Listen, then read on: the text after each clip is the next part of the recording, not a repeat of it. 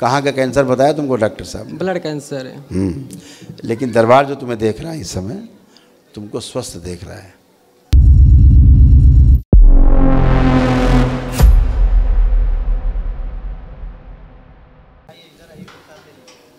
गुरु जी प्रणाम खुश हो बेटा। सब डीएनए में सात लोग हैं साहब। और चार लोग हम लोग आए हैं। सर मैं बहुत परेशान हूँ बहुत दिन से बच्चे को लेके पूरे परिवार को लेके परेशान हूँ। अच्छा। आप कोई कष्ट है? कष्ट है बाबा। बोले हैं कि जो है डॉक्टर की इसको एडमिट करना पड़ेगा। कैंसर है। हाँ। अब तुम्हें कोई कष्ट है? नहीं सर हमको आ, आप किनारे आ। बेटा एक मिनट। परि- खुश हो बेटा। परिवार में किसी कोई कष्ट तो नहीं बचा? आप? लोग कोई कष्ट तो नहीं बचा अब शरीर में नहीं? नहीं, गुरुजी। ठीक। हाँ बेटा आप तुम बात करो यार। सर डॉक्टर बोले आप मुझे तुमको लेके सब चिंतित हाँ। सर। तो यहाँ के दरबार के लोग बोले हैं सर कि मतलब आप अब एडमिट मत होना।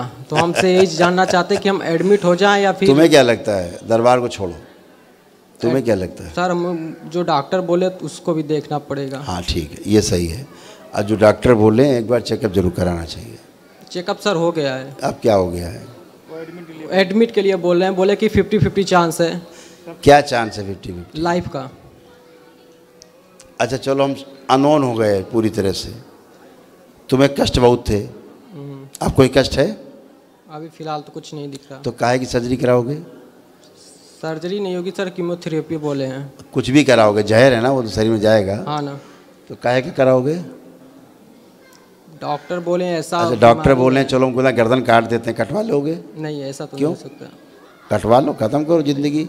नहीं। जीना ख़त्म करो डॉक्टर साहब ने कहा जीना बेकार है गर्दन अलग। नहीं। कौन सा जीवन कहाँ जी रहे हो बेटा? थोड़ा सा अभी मैंने क्या बोला आपसे पहले? एक डॉक्टर से नहीं बने दूसरे डॉक्टर से चेकअप कराओ। ओके ठीक है?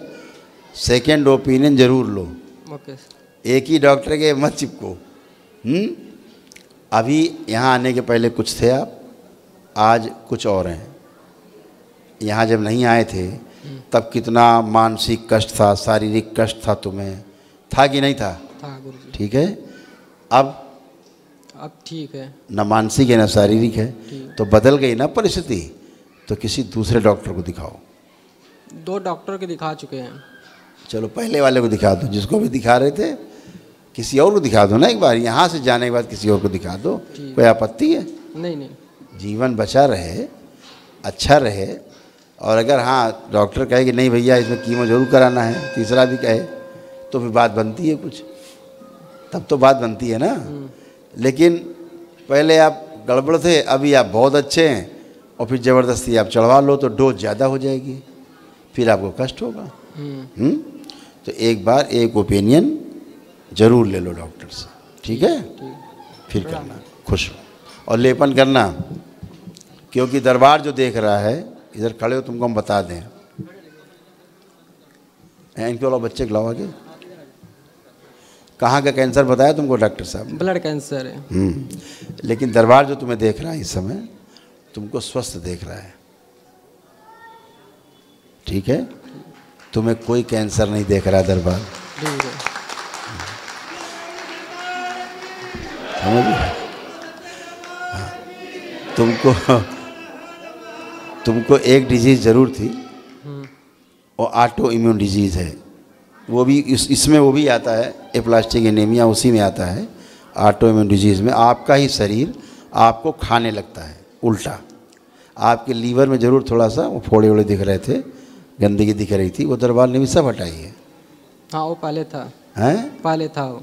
था ना लीवर में? हाँ अल्सर तो था। ये सब हाँ अल्सर थे अल्सर माने फोड़े। हम्म, तो दरबार ने सब हटाया भी गंदगी हटाई आपकी। ठीक है? तो चिंतित नहीं होना है। केवल आपको एक ओपिनियन लेनी है डॉक्टर से अच्छे। ठीक है? खुश हो।